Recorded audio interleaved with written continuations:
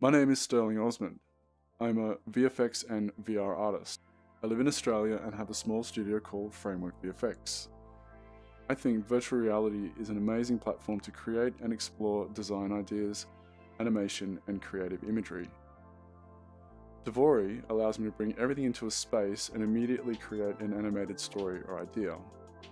In the next six chapters of this tutorial series, I'll be showing you some of my techniques and how I use Tvori. About a year ago, I created a short film called Captain Bluescreen. This was a submission for a competition, and the whole short film was created in Tvori and Oculus Medium.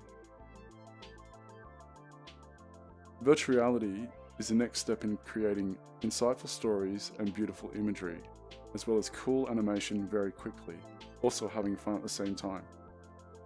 The most valuable part of Tvori is the ability to create short or long animation sequences quickly. This tutorial series aims to reduce the difficulty when learning Tvori and open up new techniques for virtual animation.